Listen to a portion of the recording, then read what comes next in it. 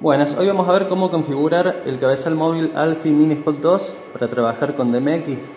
Presionamos menú, lo primero que nos sale es Address, presionamos Enter y acá seleccionamos el canal DMX en el que queremos que trabaje con Up y Down. A este yo lo uso en 55, entonces presiono Enter y listo. Ahora, lo otro que hay que configurar, muy importante para que funcione el fixture de Freestyler, es el modo de trabajo. Presionamos Add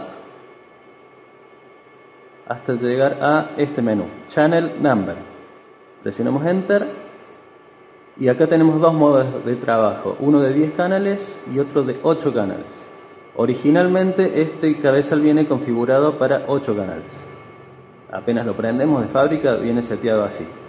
Entonces presionamos Up hasta que aparezca 10 canales, que así es como está configurado para Freestyler en el fixture que yo realicé. Presionamos Enter